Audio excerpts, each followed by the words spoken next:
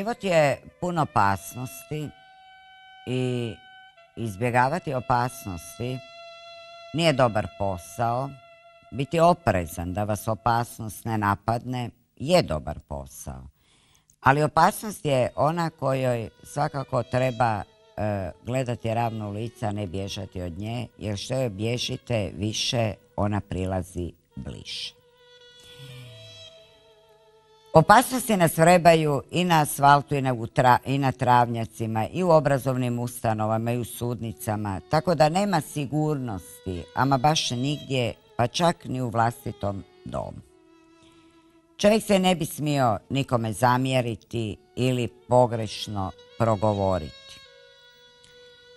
Poslovno angažiranoj osobi ljudi su zavidni, a nezaposlenog čovjeka sažaljevaju ili ga nazivaju gotovanom, neki čak i parazitom. Jer kaže, što ću ja tebe vječno uzdržavati? Pa daj se pokreni. Mnogi se ne žele pokrenuti, što je istina, ali mnogi se doista i nisu u stanju pokrenuti, makar željeli nešto im ne da, nešto jače od njih, E, da li je to gotovanstvo jače od njih, da li je to neka e, unutarnja inertnost, da li je to bezvolja, o tome bi trebalo dobro, dobro promisliti. Dobar večer. Halo? Ništa ne čujem. Halo? Ajme, e sad sam čula taman da dobijem infarkt. Najprije ništa, pa odjednom sve. Slušam. Ovako, e, ja bi pitala za sina, on bi digao kredit, e, ne neki veliki, nešto manje. Da li mu e, stoji, da li može dobiti ili ne? Teško će dobiti kredit, nije baš taj kredit ostvariv. Tako da podizanje kredita ovog o kom pričate od strane sina ne bi ni preporučila jer će biti u nezavidnoj situaciji nakon kredita zbog, e, i zbog kamatne stope i zbog neisplaćivanja. On će dobiti minijaturni kredit koji neće zadovoljiti svu tu potrebu za kojom on teži, ali uz teške muke, uz duga čekanja, uz papire, e, tisuću i sto odgovora, a od sveg tog kredita neće na kraju ništa biti onako kako je zamišljeno. A taj, e, taj kredit je htio dignuti da bi mogao otvoriti neki vlastiti posao. Pa da li će vam sin otvoriti vlastiti posao? Hoće sigurno, ali nije to samo zbog kredita, nego uz pomoć i neke osobe, duša. Neke osobe? Da, da. Jel on tu osobu pozna? Da, da, poznatu osobu. Da. Pozna? Da, da. To bi mogao neko biti iz e, obitelji. Ne mora to biti najuža obitelj, to može biti šira obitelj. Aha. E, tako da otvaranje privatnog posla kod vašeg sina postoji. Ova godina otvaranje privatnog posla kod vašeg sina malo je upitna, ne bi je baš tako naglo preporučila ali je vrlo ovisno poslom kojim se vaš sin želi baviti, o, o daljem uspjehu tog posla. Znate, ja ne znam da li ste vi svjesni, vaš sin, da je proizvodnja nešto u što bi vaš sin trebao uložiti sebe. E, i tu bi bio uspješan, e, financijska situacija putem proizvodnje kod vašeg sina bi se ustabilila, imao bi dovoljno za normalan život, zauvijek bi proizvodio i bio dovoljno zadovoljan time. A u kojem segmentu da on nešto... U bilo kojem dušo, pazite, proizvodnja može biti bilo čega. Za mene je proizvodnja i zelene salate, ako me razumijete. E. Znači, bez obzira koja vrsta proizvodnje treba početi od maloga da bi se došlo do velikog. Da, da. E, da. Jer pa se poslovna situacija vašeg sina dalje u buduće je uspješna, samo uz malo odstupanja, malo dužeg čekanja, ali sve na kraju krajeva ima jednu urednost, ima jednu putanju koja njega vodi i sreći i zadovoljstvu, naravno i određenoj umjerenosti, a financijska situacija vašeg sina u buduće je korektna, pozitivna, ima dovoljno, još će graditi dom. Aha. E, E, e, to me... za- Je mi možete nešto reći o, ako imate još malo vremena za mene? recite, recite. Pa ne znam, šta bi mi vi preporučili da se pazim? Ono čega bi se vi trebali paziti je, e, znate čega? Ako idete Čega? neku opasnost, e, to bi bio jedino promet, čak bih prozvala bicikl, koji je također jedno prometno sredstvo, jel? Znači, ajmo reći da, vas ne pogazi bicikl. Bicikl da me pogazi. Da, da, da vas ne lupi. O, Bože. Vi ne vozite bicikl. Molim? Vi ne vozite bicikl. Vozim. Odlično. Ako ga vozite, onda lijepo budite oprezni e, da ne bi sišli s bicikla na krivi način. Da se ne zaletite u prijevodu. To je jedna vrsta opasnosti, ali ne u smjeru da bi vi bili invalidna osoba, da bi vi došli u stanje umiranja i tako dalje, ali da bi šašili, slomili ruku, bedro, to bi se već moglo dogoditi. Osim te neke opasnosti na što bi vas upozorila kroz život je način života koji vodite, a to je vaša prevelika brižnost ili prezabrinutost koja se osjeti u svakoj vašoj pori tijela. E tako, jako Vi, me vi, vi, bi- vi vibrirate kao list na vjetru. Da, i to su problemi koji se gomilaju, jer kad čovjek vibrira strahom, a vi, vi vibrirate strahom, onda taj strah dolazi u vaš život, htjeli vi to ili ne. A šta da radim? A dušo moja, čega se vi zapravo bojite? Da li se vi bojite neimaštine? Da. Lijepo moje sunce milo, što se neimaštine tiče, da ćete ju ikad doživjeti u potpunosti? Ne. Vi možete doći u situaciju da to nije dovoljno, da treba više, da niste time zadovoljni svojom financijskom konstrukcijom, ali popravljaju se stvari.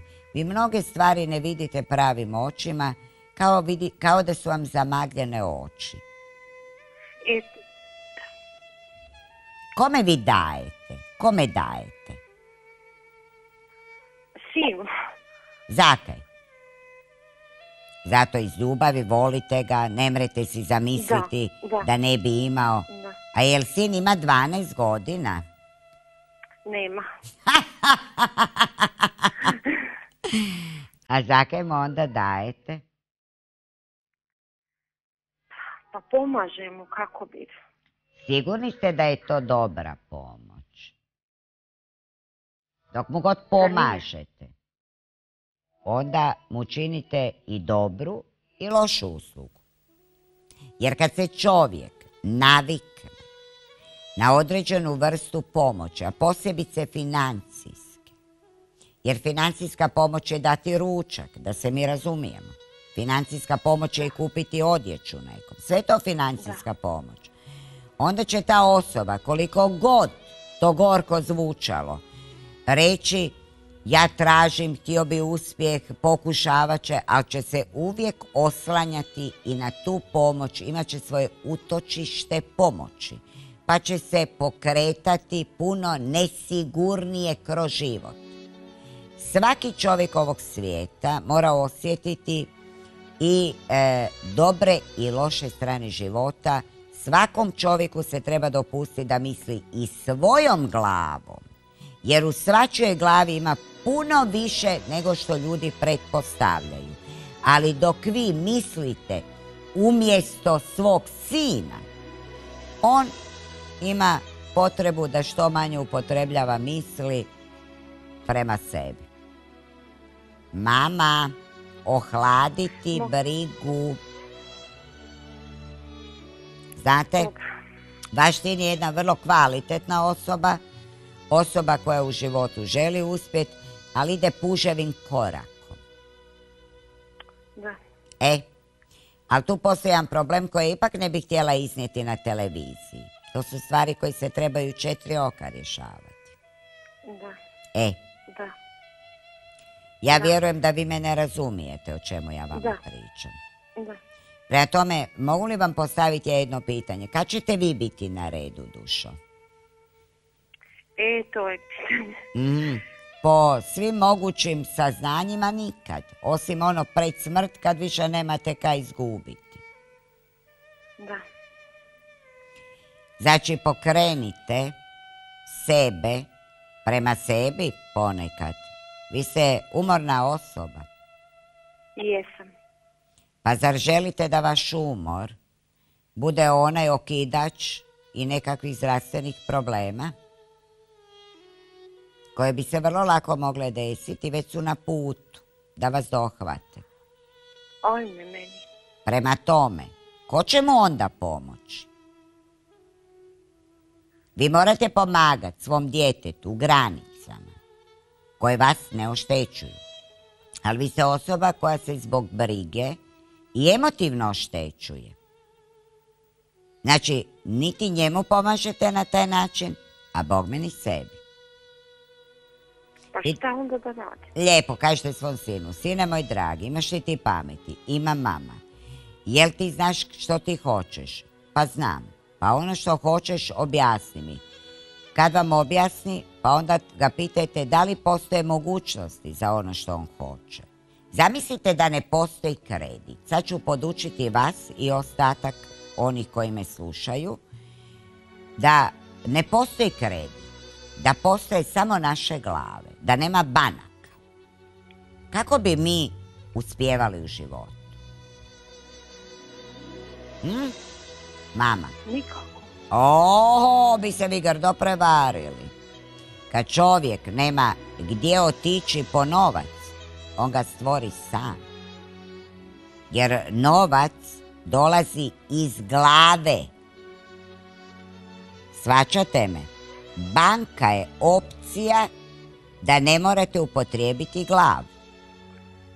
Daleko od toga što u banku ne treba otići ponekad, položiti novac. Ali obrnula se situacija. Danas svi odlaze, u- odlaze u banku potražiti novac.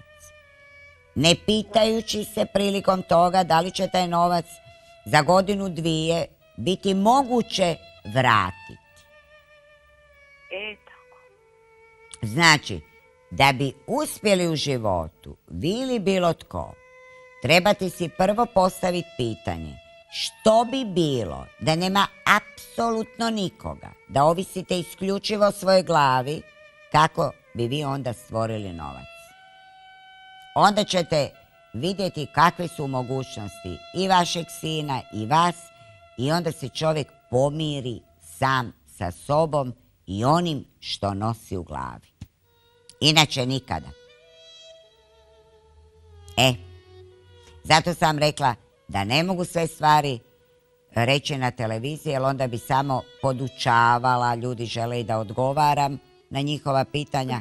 Prema tome, mama, zamislite život bez da itko ima da vam posudi novac, daruje novac, e, ne znam, banka, to je isto jedna pozajmnica, kako onda stvoriti posao, uspjeh i sve ostalo u svom životu. E, To, je, to se zove mudrost. Korištenje vlastitih misli, korištenje vlastitih umnih sposobnosti koji svaki čovjek ima, naravno u svojim granicama, netko ih ima više, netko manje, ali što manje mislite, mozak manje se razvija u mišljenju. On ko da vene. da. I to je upravo došlo sada u ovo vrijeme kad nam je sve na dohvat ruke, kad gotovo još malo pa se nećemo morati ni kretati, znate, mo- moći ćemo putem interneta nabaviti namirnice. Da. Pa zar nije ljepše sudjelovati u punom smislu u životu? Uživo koristiti sebe, uživo. A ovo je mrtvo korištenje sebe preko nekih institucija, preko nekih ljudi koje poznajete, preko obitelji. To je mrtvo stanje uma. Um treba ponovo oživjeti u čovjeku. Kako ga oživiti? Upravo tako, da kažete da nemam ništa, ni banke na raspolaganju, ni osobu koja će mi dati novac, a želim taj i taj posao raditi, za taj i taj posao bi mi trebalo to, to, to i to. Imam li ja mogućnost da dođem bez, do toga, ali da ne koristim nikoga osim samog sebe. Ako nemam tu mogućnost da to stvorim odavde iz svoje glave, onda moram mijenjati posao kojim se želim baviti i sam sebi predložiti novi posao, a mogućnost da predložite poslova je beskonačan broj. Sigurno da ne možete biti liječnik ako niste školovani za to, odvjetnik i tako dalje, jel? Ali Da. e, postoji, e, postoji poslova za koje je čovjek stvoren. Znači, ajmo sada ovako. Vi ste mu majka, vaš sin je bilo, bio malo dijete. Čime se on najviše volio igrati u svom djetinstvu, da je e, preferirao najviše toj jednoj igri koju se uvijek vraćao? Pa ovako, mi, mislim, mi smo malo iznad grada i on je uvijek volio preferirat kućice raditi. A što bi to značilo? Da vaš sin zna zidati, jel? Ma, ne znam, Mama, molim. ako je netko kao dijete volio graditi, jel volio graditi? Volio je, da. Dušo, da li je on pokušao zidati? Da li je on pokušao sebe usmjeriti na taj e, put prema zidanju? Znači, zar je ružno biti zidar? Zar svi trebaju biti inženjeri građevinarstva? Zar smo mi počeli omalovažavati one djelatnosti koje su stvorile nas? Zar je ružno biti vrtlar? Zar je to nešto Ne. pogubno, nešto, nešto sramotno? Ne. Kuhar? Pazite, ne moraju svi biti master šef. Da, da. Ono čim se je vaš sin igra u djetinstvu, za ono je stvoren. Jel me shvaćate? Ako je volio zidat, on može biti taj koji može preporučiti nekom kakvu da kuću izgradi. Znači može mu nacrtati sliku te kuće. On može biti taj koji će pomoći pri zidanju. Znači ima puno, puno opcije i mogućnosti upravo u tom smjeru. On ne mora biti školovani građevinar, on može biti pomoćni zidar za početak. A onda će vidjeti da li se on u tome snalazi. Dok nešto ne pokušate, ne možete znati da li to znate ili ne znate. Dok ne pokuša. Tako je. Proizvodnja, također kuća se proizvodi. Jel razumijete? Da. Ne nastaje u Da. jednom dahu. Da ono ispuhnete iz usta, evo kuće. Ona se isto proizvodi. Ljudi su sve ograničili. Proizvodi se ciglom po ciglom. Nastaje dom. Tako i to. E. Još nešto, mama? Evo sad ste mi baš rekli za razmišljati, sad ću mu to prenijeti. Ajde, lijepo sad malo. ću- E sad, to mi se sviđa što ćete početi malo razmišljati. E, može? Hoće uspjeti, on hoće. Definitivno hoće. Samo malo više vremena, truda i malo smanjiti ambicije koje on sad ima. Znate? E, Da. E, dobro, puno vam se zahvaljujem. n- nema na čemu. Zahvaljujem se i ja Jo vama. ima. Laku noć, dušo. Laku noć. Laku noć. E, ne znam gdje sam počela čitati ovaj dio svoje knjige. Aha, o pasosima, naravno. Imamo odmah dalje. Dobar večer. Dobar večer, gospođo Vera. Dobar večer, dušo. Ja bi vas htjela pisati u vezi moje čerke. Slušam. Ona već e, duže vremena tako ima veze pa prekida nakon dve, tri godine. Pa sam htjela pitati da će se ona udati. Da će vam se udat kćer? Da, Hoće. Udaja stoji za stariju osobu, nešto sitno stariju od nje, rastavljenog, ovako malo promišljenog, voljet će svirati, voljet će pjevati, bit će onako veseljak, e, volit će i trošiti, ali će i zarađivati.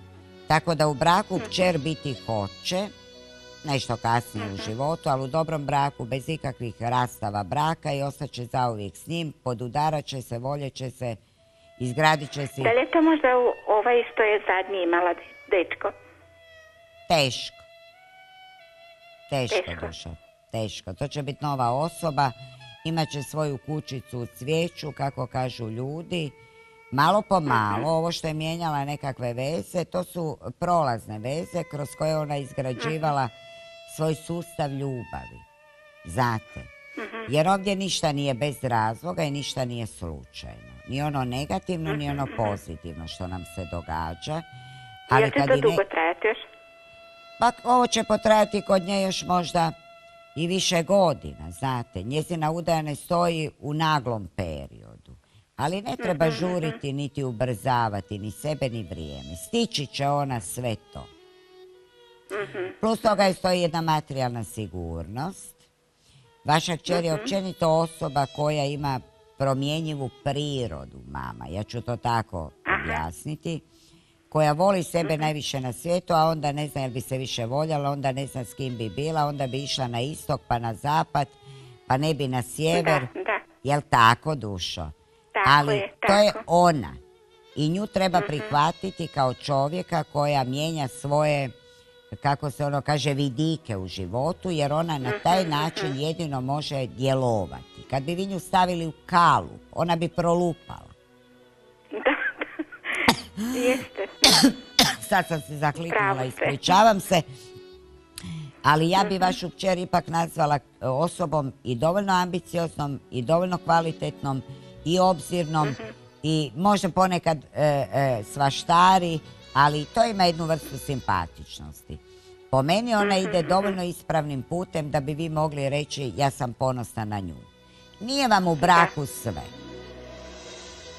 Znate, svi ljudi mogu ostvariti svoje brakove ako se potrude, ali što će od njih, kakvi će ti brakovi biti? Hoće li oni, o, Da, znate, da. odisat ljubavlju ili kasnije mržnjom? Potom, potom, molim? Bila sam, kažem, malo nesigurna kad ima dve, tri duge, onako duge veze, onda prekine. Onda, Pa onda ne želi biti u vezi, 20 ako ćete iskreno, ne želi biti u vezi. Idu joj na živce, znači ne pašu joj, nisu joj al pari, nešto je zasmetalo i ona sebe ne želi u toj vezi niti kompromitirati, niti silovat, kako kažu ljudi. Ona ide dalje. Ona je osoba koja istražuje sve, sva svoja htjenja, sve svoje potrebe. Ona je za mene genijalni um. Znate, ne treba se prihvatiti prvog, pa sad reći to je ono najbolje na svijetu. Istraživati nije loše. Dobro. Ona nije Hvala nesretna. vam Da se mi razumijemo, ona nije nesretna. Mhm, Da, razumijem. da. Plus toga je stoji inozemstvo vaše kćeri. E. I sreća. Dobro, hvala sreća vam, u tom inozemstvu. puno. Laku Molim, noć. dušo, laku noć. Evo nastavljamo i s tonu dalje, ali prije nego nastavim još ću jednom za sve vas koji niste možda gledali prvi dio emisije reći da preksutra ovaj tjedan u petak, to je 18.5. u hotelu Internacional u Zagrebu u Miramarskoj 24 s početkom u 17 sati ja imam predavanje, seminar, kako god hoćete, odgovaranje na vaša pitanja i sve ostalo što ja činim u tih par sati družeći se s vama. Možete doći u 17 sati ovog tjedna u petak u Hotel Internacional u Miramarskoj ulici i dobiti odgovore na svoja pitanja i sve ono što vam ja mogu dati u trenutku druženja s vama. Vi koji želite naručiti svoju energetsku karticu koja služi e, jednoj jako, jako velikoj svrsi, dobit ćete uputstvo kojoj koji želite odgovore na svoja pitanja, ali ona ne služi samo tome nego još nečem, o čemu ćemo vam objasniti u centru. Možete ju naručiti u centru Vera Čudina putem ova tri telefonska broja koja su vam na ekranu i e, dobiti, e, ostavi datum rođenja i sve ostalo što je potrebno da bi ja izradila. Možete u centru kupiti knjige, sve je moguće i 23. veljače godine gospodnje, a također i rješavati sve svoje problematične situacije, dobiti usmjerenja i e, sve što vam je potrebno da bi promijenili način života. Možete također skinuti svoje suvišne kilograme bez prevelikog odricanja i teških dijeta jer ja to ne preporučujem. A možete se i emotivno, potpuno ili nervno opustiti pa doći u jednu e, psihološku ravnotežu uma, tijela i duha da se toliko ne nervirate. Kao i o naručiti slike ulja na platnu za svoj dom ili poslovni prostor gdje će ona sva negativnost koja vas okružuje, ta slika ipak malo ublažavati i pobirati. A sad idemo dalje da mi glava ne pukne. Dobar večer. Dobro večer. Dobro večer. E, gospođo Vera, ovako trebala bi jednu pomoć. Recite Prije, prije određenog vremena, dužeg vremena, spremila sam jedan, jednu ušteđevinu u koverti u, u kuću na jedno mjesto. I Dobro. bila sam uvjerena 100% da mi je to tamo na tom mjestu. Međutim, kad sam išla potražiti, tamo nema i nema, ne mogu nigdje naći u kući. Pa zanima me da li je to meni još uvijek u kući ili što se dogodilo. Ta vaša ušteđevina o kojoj pričate, gdje je u kući, nije sigurno. Nestala je, uzeta je dušo. Uzeta Uzeta. je. Ako bi ju mogao uzeti. Tu ušteđevinu vam je uzela osoba koju vi jako vjerujete, s kojom se vi družite. Mm, Ja sad ne bi baš to htjela reći javno na televiziji. Nazovite me sutra pa ću vam reći. Da vas nazovem. A zašto? Pa recite mi, recite mi slobodno. Recite mi. A ne, e, gledajte, ja ću vam, mogu vam opisati osobu pa ćete vi Možete. znati. Može. Osoba Možete. koja vam je uzela tu ušteđevinu ovak izgleda. E, to je visina, ali nije to previsoka osoba. Svjetlije puti, vrlo onak dubokih, mudrih očiju, malo škiljavih. Malo se na stranu smije, dosta onak hoće, dosta pitanja postavlja, voli paradirati, a ta osoba je najprepoznatljivija koja vam je uzela ušteđevinu po načinu e, slova R, način na koje to slovo izgovara. Slovo R, Da, kako izgovara. da. Mhm. Vi poznajete tu osobu. Pa, tako, tako. Ništa dobro. Meni vam je Dobro, to, znači meni vam je to dušo mlađa osoba. Mlađa osoba. Da. Mhm, E. mhm. Slučajno je našla ili mi je baš ukrala? Nije ukradeno, slučajno. Slučajno Da, je našla. da. To je ono ko posuđeno. Mhm, E, mhm, e. Da, da. Međutim, Dobro. radi se o sljedećem. Vi ćete ponovo imati takav problem ako se to ne pripazi, ne razotkrije, vi ne morate nikog optužiti, da se mi razumijemo, ali morate biti oprezni u sljedećem stvaranju svoje ušteđevine, da zaista nađete mjesto na koje se neće moći doći tako olako. Vi ste vjerovali. Mhm, E, mhm, mhm. ali e, financijska situacija vam je u buduće e, dovoljno, pa je to minus, ali će se malo i popraviti, ali e, ja moram priznati da ste vi osoba koja po meni niste potpuno sumnjali da bi to netko uzeo. Ne, ne, Da, nisam da. uopće sumnjala. Ne, da, ne. ali ipak, ne. e, zato vam ja kažem, to nije netko uzeo s namjerom da to bude ukradeno, nego vidio pa si, pa si po, potpomogo. Vidio pa si A, potpomogao. da, da, Mhm, da. Znači tako. Dobro, hvala vam. Molim, Hvala. dušo. Laku noć. E, idemo mi dalje.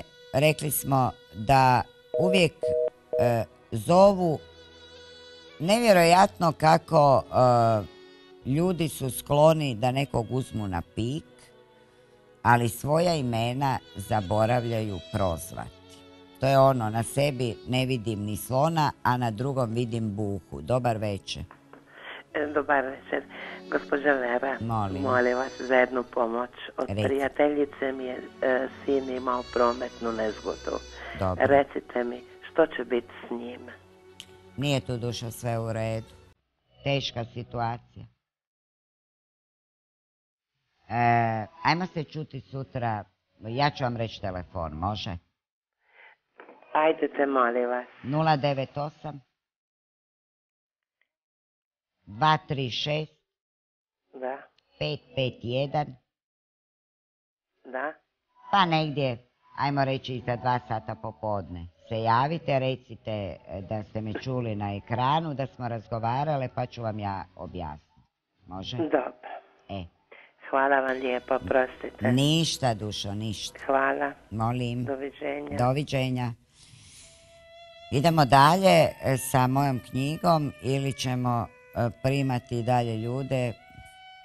Vi ćete sami odlučiti. Znači, rekla sam, i na sebi treba vidjeti buhu e, i na sebi treba vidjeti sve što vidimo na drugim ljudima, jer vidjeti samo na drugome ne znači da ćemo mi biti pošteđeni, da drugi to isto vide na nama. Dobar večer.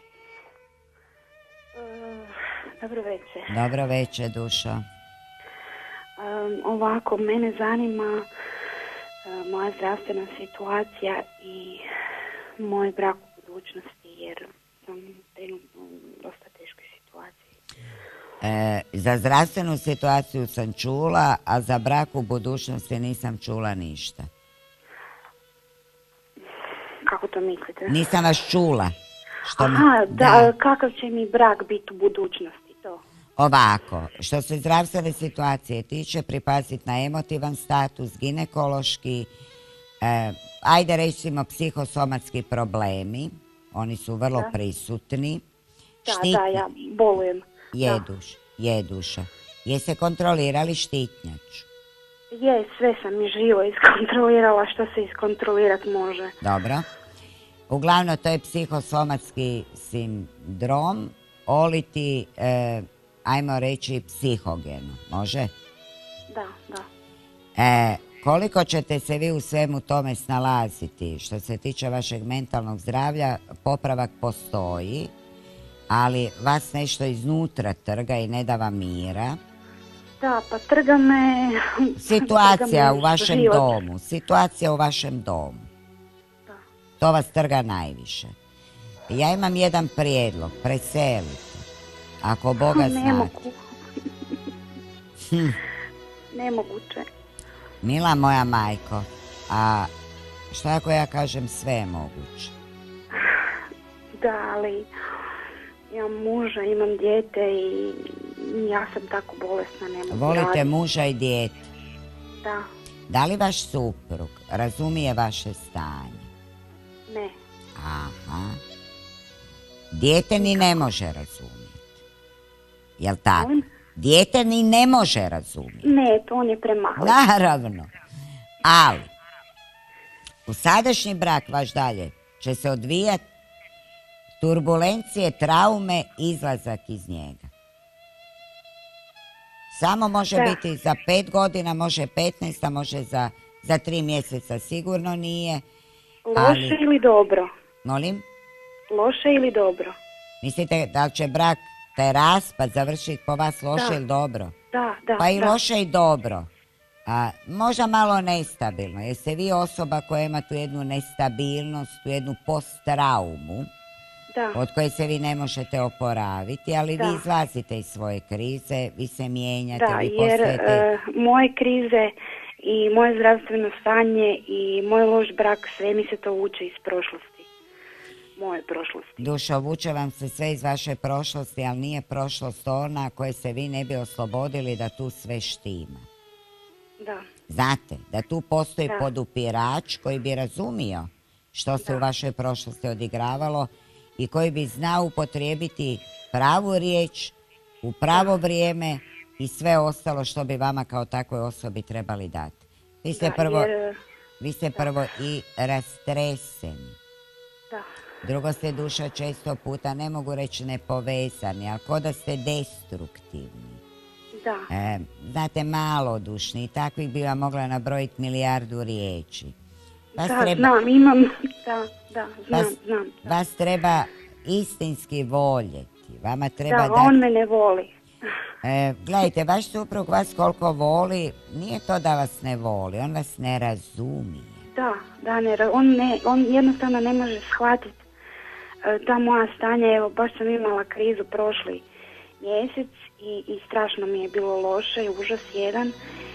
I, i, I tu sam već vidjela, ali ovaj put je bio tako dobar prema meni da, da jednostavno nisam mogla vjerovati. On je po kući sve radio, e, bio uz mene, e, pa šta ti je, pa kako, pa ja sve, ja sam sve nisam mogla vjerovati, a nikad do sad to nije tako, mislim dobro je bio uz mene jer sam bila i hospitalizirana na nekoliko puta to sve skupa, ali kažem, bojim se budućnosti s njim. Jer Pa ovako, problem- ovako, e, vi kao da imate u sebi, u sebi jednu crnu rupu koja crpi vašu snagu, koja mota vaše misli, tako da ne vjerujete samoj sebi. E, sve ja to razumijem. Da. Ali budućnost uz vaše zdravstveno ovakvo mentalno stanje sa suprugom kako će biti nikako iskreno. On će to podnositi, zamjenjivati vas, ali neće moći vječno. da. Znate, zato što to je iza njega, koliko god on može biti i hrabar u nekim situacijama, Da. jedna velika nepoznanica o kojoj on ne može dobiti dovoljno znanja. Da, pa znam, pa znam, i s te strane ja njega razumijem i E. sve to, ali ja se bojim da ću, da ću ostati bez svega. Jer ja ako ostanem bez njega, ja ću ostati i bez doma i bez djeteta, bez svega. Ma ne ide to dušo tako. Gledajte, vaše dijete s vama ostaje, mislim, doživotno je glupo reći, vaše dijete će s vama živjeti Ne, pa on, mi je, Trajno. on mi je sve. trajno, mama, trajno. Kontakt vas i djeteta prekid ne postoji. Vi u ovom sadašnjem braku istom ostajete doživotno ne, vi se ne morate sudski rastati, vi se možete razići kao ljudi. Nemojte sve doživjeti traumatično. Dom u kom sad stanujete, nije dom u kom ste vi zauvijek, jer vi sami odlazite pa se budete vratili, pa onda imali svoj dom, život se mijenja. Nemojte imati strah unaprijed. Da, i još jedno pitanje, e, da li imam šanse da ovoga, imam još jedno dijete? Da li ćete još roditi?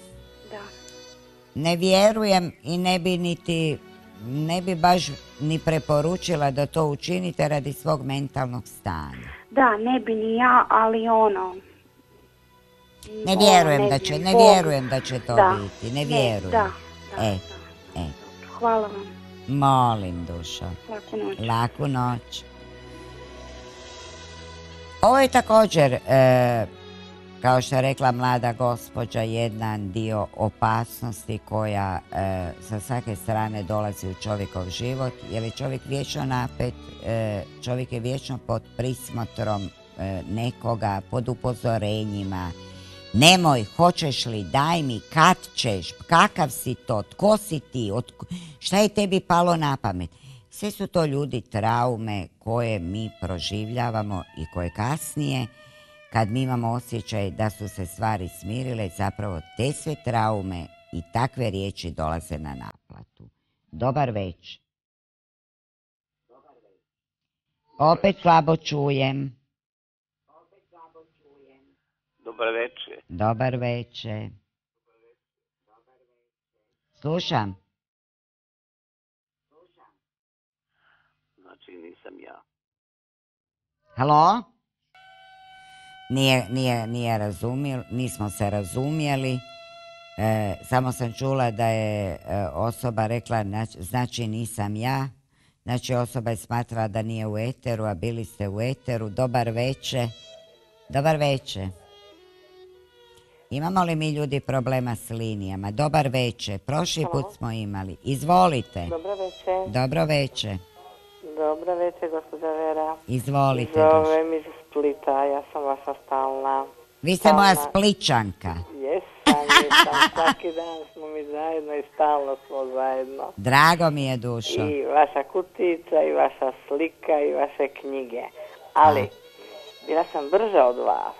Moram ne biti sebična, Dobro. pa kazati drugima šta sam ja izumila prije kartice, sad ću odmah karticu imati, iako ćemo se uskoro vidjeti. Odlično. Ja sam uzela kovu kao najmanju knjigu Aha. i sve što mi je trebalo i što se događalo svakodnevno, ja sam lijepo u- u- između listova stavljala i to je stalno sa mnom u torbi. Tako da ste se vi sa mnom i naputovali. Sad kad, je- kad ste spomenuli prije par emisija karticu, ja sam bila tako sretna, ja kažem, vidiš, ja sam nešto imala u glavi, tu je bila slika gospođe Vere sa mnom, jer, jer mislim, Imali ste jednu želju. Da. jednu želju toliko Da. vjerujem i, i hoću, htjela sam to podijeliti sa e, ljudima da im kažem da se i tako može, ali evo ovo je sad nešto fenomenalno vaše novo, jel? Tako da će to pomoći. Ali ja sam to tako, sve što mi se događalo, ja sam to jednostavno, e, uvijek, uvijek ste bili sa mnom. Biće mi jako drago. A sad ću vam ispričati jednu jako interesantnu priču koju sam danas čula, e, koja je javljena mojoj pomoćnici. E, učila sam ljude u svojoj školi, sve te ljude koji pohađaju i dolaze u moju školu. Učila sam ih kako je zaista sve moguće i kako se tražiti treba i tako dalje. I e, bila je jedna prekrasna žena u tom, toj grupi, jer je dosta grupa u pitanju, pa ta škola se, svaka grupa ok- okvirno dođe svakih mjesec i pol do dva na red. Ali se radi o tome da, iako se škola svaki petak održava, ali se radi o tome da e, je ta e, mlada žena došla na toliki financijski minus, kolaps, kako god to rekli, da je bila stvarno ono visjelo je u zraku što će dalje s njom biti. Ja sam na tom trosatnom dijelu, jer o, škola bi trebala trajati tri sata, ali traje po pet, svaki put to je najmanje, ne možemo se jednostavno razići, podučila kako se traži, kako se dobiva. To je onaj sistem traži i dobit ćeš. Da, to je bilo u petak. Danas je javljeno da je ta e, žena dobila e, e, novaca o kojima nije ni sanjala i to od osobe kojima je prije puno godina čuvala dijete i na koje je već de facto zaboravila. Suprug, odnosno otac tog djeteta kojeg je ona čuvala, na njezinu adresu je danas poslao 2000 eura. Eto vidite. Eto, i ona više nije u financiju. Vidite kako je sve moguće kad se Da. traži srcem. Srcem, da. A ne kad se traži razumom, kad se traži zato što bi čovjek htio da bude viđen, e, da bude taj o kom pričaju, da, znate, da ispuni nekakve svoje želje koje možda nisu tog trenutka toliko neophodno potrebne. E, dragi e, e, svevišnja sila prepoznaje trenutak davanja. Znate, a ljudi su vrlo nestrpljivi. Ljudi bi željeli da je to odmah. A ja kažem i onda se zamjera ako nas se stavi na čekanje ili se promijeni sadržaj naše želje koje mi upućujemo, ali sve je to Da. s razlogom i promjena sadržaja želja i e, stavljanje nekog na čekanje i sve ostalo. Meni je vrlo zanimljivo da je moja knjiga Koa i kap vode pronađe put e, zaista našla put do svih ljudi e, jer u sebi ima nešto drugačije od svih knjiga, ja to moram priznat, možda i zato što je pisano u obliku romana, Da. ali e, nosite ju dalje sa sobom ako vam čini dobro. Ma kako ne, upravo sam to htjela reći. A ujutro kad ustanem jer imam vremena, onda kritičnu točku igram se kako ste nas svi naučili. Kažem jedan, li, jedan broj i otvorim taj broj, pročitam i nevjerovatno podudarnost onoga što se ima tog dana desiti. Naravno, sve Ali te... vjerujte, mislim vjera, stvarno je vjera nešto, nešto, nešto najjače. Je. E, puno, Be- puno ste mi pomogli. bez vjere se ne može. uskoro vidjeti, ja vas neću ništa pitati, nego sam samo htjela evo naglas javno se zahvaliti i kazati ljudima da bez vjere nema ništa. A vi činite stvarno nešto što je, što je stvarno posebno. I ja vam iskreno kažem, od srca vam kažem, da vaše slike nije na zidu, da moje te, moje te zamisli, da budete stalno u mojoj torbi, da ja vjerovatno ne bih bila na, o- na, ovoj, na, ovoj, na ovom stepenu na kojem sam sada, iako mi je dosta teško, e, prošla sam puno, onaj prvi dio emisije mi se strašno svidio gdje ste kazali, e, tu sam našla i sebe u svom poslu i tako dalje, toliko sam se namučila, naradila, e, školovala i sve, a da 80 puta nešto učinite, 81. nekom nešto nije u redu, taj će vas toliko iskritizirati, toliko će vas omalovažiti, pa mislim stvarno e, pitate se kuda vodi ovaj svijet. Ja Reći ću ja u jednoj... imamo grešaka. Da, da. ali- ali Reći ću ja u jednoj je. emisiji Dušo moja kuda vodi Da. ovaj svijet.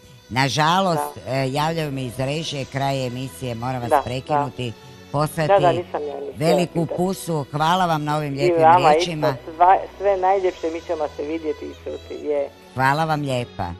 Ako čovjek dopre do jednog srca, e, doprio, dop- može doprijeti do svih srca. Do, važno je koliko je srce čovjeka otvoreno prema drugom čovjeku.